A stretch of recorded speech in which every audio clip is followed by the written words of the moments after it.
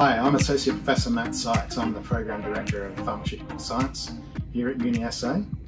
And I'd like to introduce Oshini, who's a new international student. Hi, Oshini. Hi. So, Oshini, can you just tell us where are you from and uh, which uh, university were you studying at before and what were you studying?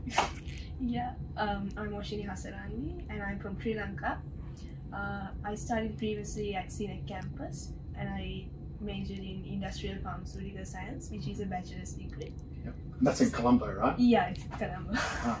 And uh, how long have you been in Adelaide for now, Oshini? Um, I think just a month. Yeah? yeah. And you're enjoying it so far? yeah, it's pretty cool. Yeah. And what Yeah. um, what courses are you studying in your first semester here in Adelaide? Yeah, I study pharmacology and uh, chemistry subject uh, structure determination analysis, and also I study DFD one, which is dosage form design. Yeah. So it's like a formulation course, yeah, right? yeah, and also another subject physiology. And uh, obviously, when you come to Adelaide from international, you need somewhere to live. So tell us about where you're you living in Adelaide? Yeah, I choose to live in a hostel provided by UniSA itself. Um, it's Urbanest and North Terrace. Yeah. Oh, that's right in the centre then. Yeah, Yeah. at the city. Yeah.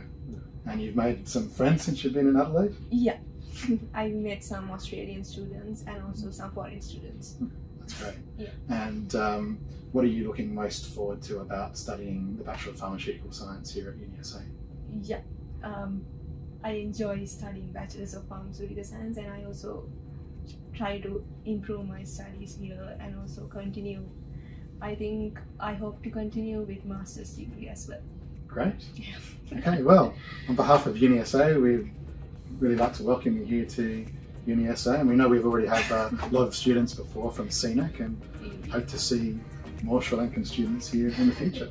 Yeah, sure you will. Yeah. Thanks for joining us, Rashid. Thank you very much.